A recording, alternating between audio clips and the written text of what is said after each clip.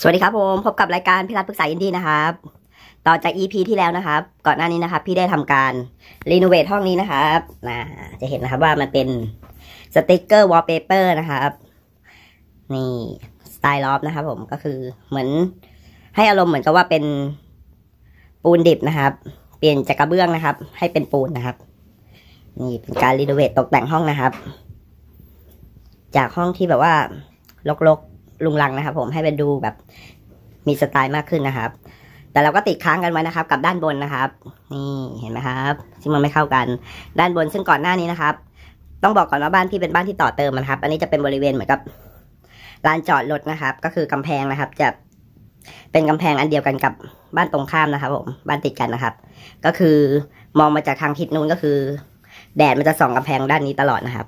ปัญหาก็คือว่า ข้างบนเนี่ยนะครับ นี่ทั้งสองอดีกว่านะ เห็นไหมพอเราแปะแผ่นเหมือนแผ่นแบบข้างล่างนะครับ แปะไปกับกำแพงดิบๆอย่างนี้เลยนะครับ มันเกิดความร้อนมากเวลาฝนตกก็ชื้นมากนะครับ ก็คือสติกเกอร์แผ่นๆแบบนี้ก็จะเอาไม่อยู่นะครับ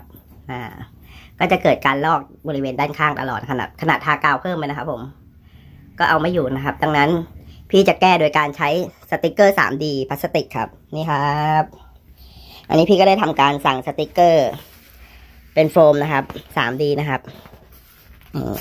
แบบเดียวกับสีชมพูด้านบนนี่นะครับ เพราะมันจะอยู่แล้วก็กาวมันจะแน่น และที่สำคัญนะครับ ราคาก็ถูกด้วยครับ ตกแผ่นหนึ่งสิบเก้าบาทนะครับ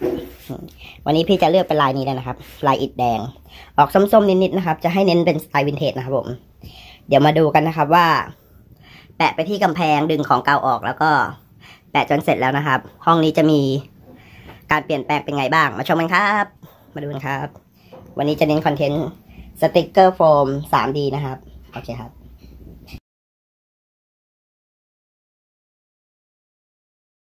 นี่นะครับผมอันนี้ได้ทำการรื้อออกไปครึ่งหนึ่งแล้วนะครับอ่าอันนี้จะเป็นผนังจริง ๆของบ้านนะครับ จะมีสีหลุดบ้างนะครับ นิดหน่อย อีกครึ่งหนึ่งบริเวณหิ้งพระนี่ยังไม่ได้ทำการรื้อนะครับ เดี๋ยวพี่จะทำการแปะทีละครึ่งก่อนนะครับ ก่อนอื่นก็เหมือนเดิมนะครับ ผมรื้อเสร็จก็ปัดทำความสะอาดเช็ดให้แห้งนะครับ แล้วก็เริ่มการแปะได้เลยโอเคครับเดี๋ยวพี่จะแปะจากด้านขวานะครับ ไล่ไปทางซ้ายนะครับ รอบนี้ แล้วก็แปะจากด้านบนนะครับ ลงมาด้านล่างโอเคครับ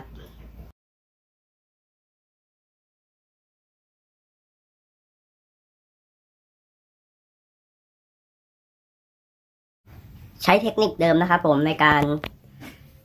ติดนะครับ ก็คือการใช้นี่นะครับ กาวแบบนี้นะครับ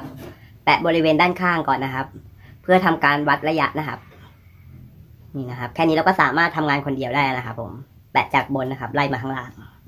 โอเคครับ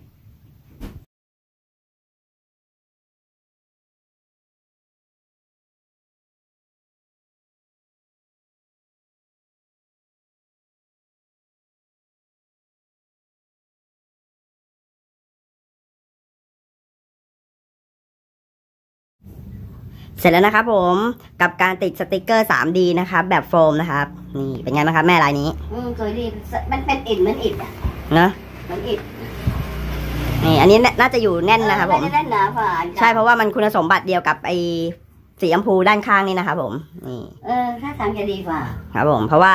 อันนี้คืมันอเป็นกระดาษใช่มันเป็นกระดาษแบบข้างล่างมันเหมาะกับที่แบบว่าไม่เจอความร้อนหรือความเย็นมากเกินไปนี่แม่เนอะ ใช่ ไอ้นี่มันเจอร้อนใช่ อันนี้คือเลยข้างร้อนออกไงใช่ต้องเอาออกเปลี่ยนกำแพงอันนี้คือข้างบ้านเขาไม่ได้ต่อเติมมันก็จะรับแดดรับฝนเต็มๆนะครับ อืมเราก็เลยใช่ ไม่ได้เรื่องเลยด้านบนก็เลยต้องเป็นสติกเกอร์โฟม 3D แปะขึ้นไปนะครับสวยดีนี่มากโอเคนะครับผมอันนี้ก็เป็นไอเดียการแต่งบ้านอีกแบบหนึ่งนะครับ โดยสำหรับคนที่ไม่มีฝีมือด้านการทาสีหรือว่าเออไม่มีงบประมาณในการแจ้งจ้างช่างนะครับ ก็สามารถเนี่ยอย่างนี้เนี่ยแปะเป็นสติกเกอร์แบบนี้ได้นะครับ ในช่วงยุคโควิดแบบนี้นะครับ ก็สามารถประหยัดเงินได้ก็ประหยัดนะครับ เราจะเปลี่ยนลายเปลี่ยนอะไรเราก็ได้ ใช่ มันไม่ได้แพงมากมาย มันถูกกว่าการจ้างช่างทาสีนะครับอืมเพราะตอนนั้นจ้างเขาทาสีน้ำผูสี่ห้าพันเลยนะแม่เนอะแพงไม่ไหวหรอกใช่ทำนี่ปูกระเบื้องเป็นหมื่นเลย ใช่ โอ้ยตายตายขาดหมดไปเยอะ โอเคครับสำหรับวันนี้ก็แนะนำไอเดียดีๆแบบนี้นะครับประหยัดประหยัดนะครับอย่างเงี้ยดีที่สุดเลยโอเคครับ ผมสำหรับวันนี้สวัสดีครับ สวัสดีนะคะ บ๊ายบายครับผมบ๊ายบายฝากกดไลค์กดแชร์ด้วยนะครับจ้าสวัสดีปรึกษาะคะอินดี้นะครับ